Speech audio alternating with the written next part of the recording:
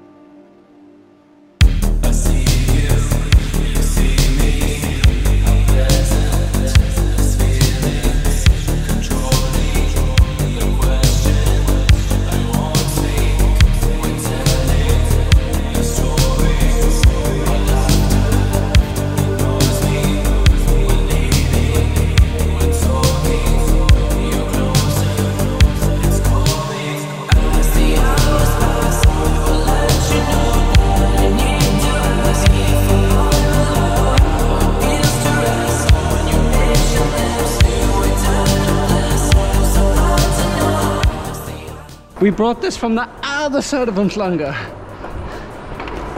Yo, she didn't look impressed.